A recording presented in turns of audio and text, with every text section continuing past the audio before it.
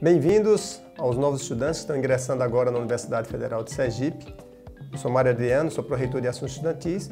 Quero dar as boas-vindas e falar para vocês um pouco do que faz a Proeste. A Pró-Reitoria de Assuntos Estudantis ela busca integrar, promover e assistir aos estudantes da universidade. Uma das linhas de ações, das ações da, da Pró-Reitoria, está voltada para aquele aluno que tem insuficiência de recursos financeiros, aqueles alunos em vulnerabilidade socioeconômica.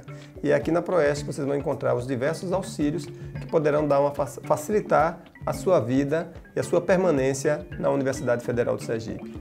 Também nesta Proreitoria, nós temos as ações de acessibilidade e inclusão, uma divisão da, da nossa Proreitoria, ela cuida da pessoa com deficiência e daquelas pessoas que têm necessidades especiais para aprendizagem. E aqui você vai encontrar o apoio devido também. Também aqui na Proeste vocês vão encontrar um setor específico que cuida da integração esporte e cultural.